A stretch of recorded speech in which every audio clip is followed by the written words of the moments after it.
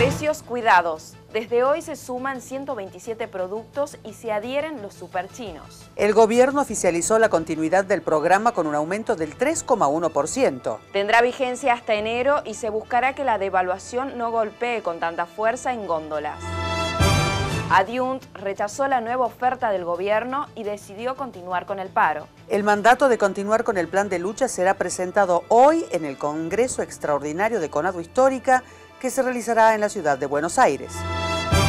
La legislatura analizó la crisis del sector cañero. El pedido de declarar la emergencia económica a la actividad tonificar el precio del azúcar fueron algunos de los temas planteados durante la reunión que mantuvo el vicegobernador Jaldo con pequeños productores.